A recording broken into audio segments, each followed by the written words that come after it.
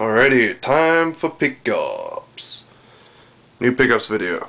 Um, as well at the same time, since it's in the game room, I already put everything up, might as well get an updated game room video along with it. So first off, I got these off of eBay, or not eBay, sorry, somethingawful.com. Guy was selling a few uh, Super Nintendo games, so I asked how much were they? He said $15 shipped. So I got four games, all for just $15. Mega Man 2, mint condition. Super Mario 3, mint condition. Teenage Mutant Ninja Turtles, mint condition. And Teenage Mutant Ninja Turtles 2, the arcade game, mint condition, with just Ducky sticker. That is badass. Anyways, went to play and trade. Got another work time fun. I had the game, but I lost the actual UMD. So now I have the UMD. I just have two cases. But what? Shut up, Samson. Anyways, yeah, that is a fun, fun game for the PSP. Gotta try it out. Um, let's see what else. Went to play and trade today, and I found this. I believe this was seventeen dollars. It is awesome, dude. Comes. Hold on, let me get this in the light. N64 boxed Zelda's Majora Mask with everything. Let's see here.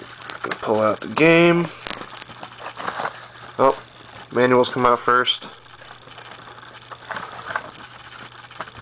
Yeah, $17 I got this bitch for. It. What the fuck? That door was closed.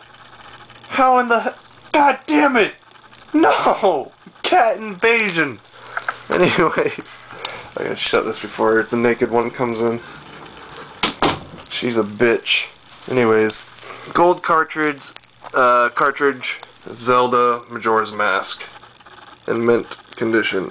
Fucking amazing. So yeah, that was great.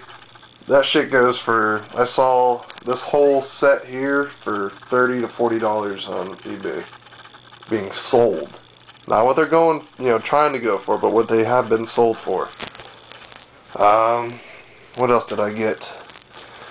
Oh yeah, play and trade again. Found this ASCII Nintendo licensed uh, fighter stick, arcade stick for um, the Super Nintendo. It's got a nice weight to it, very responsive. Um, I just wish the gap between the buttons was a little bit larger because it's it's a pretty small unit, dude. I I just got big man hands, you know. Need big manly arcade sticks. Hmm. Oh yeah, play and trade again, ten dollars. Final Fantasy Origins. Mint condition, no scratches. Um, I had a tub of RC parts where if you were to put it together, I would I probably wouldn't even be able to sell it for seventy-five dollars. I mean, it's ten years old, but um, I put it on Craigslist with the hopeful price of a hundred dollars. A kid traded it, um, traded basically a boxed Atari, twenty-six hundred heavy sixer, early model, for a big tub of RC parts that I just wanted to get out of my room. So yeah, very nice. Got ET in there, even though I dread playing it. I need to get the uh, coaxial adapter before I can. The uh, box, it's in rough shape, but I still like it as a display item. The joysticks and whatnot. Where's that great power cord? Oh, here you go. Got the old school uh, gray power adapter. And then you can see the serial number there. It's pretty low.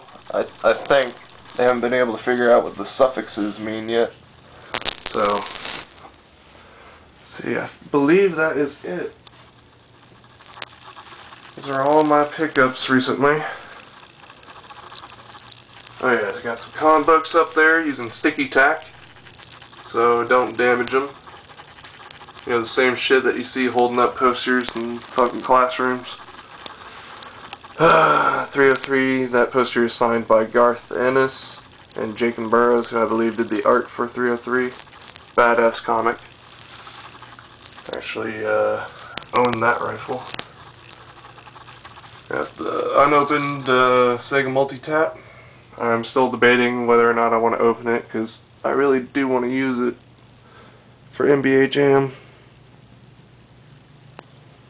Uh, I finally sold that on eBay for $75. Get that shit out of here finally. Got more comics.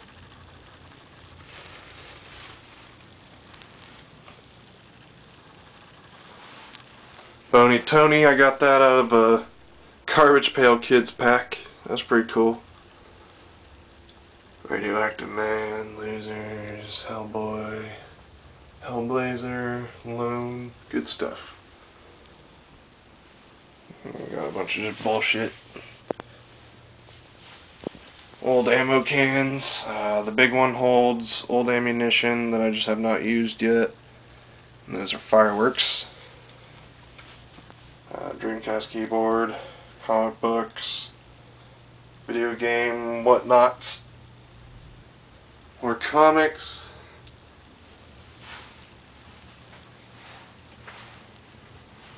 Skull. Yep. Alrighty. I am out of here. I believe I've showed you everything possible. Cool. Bye bye. Get the fuck out of here, Luke.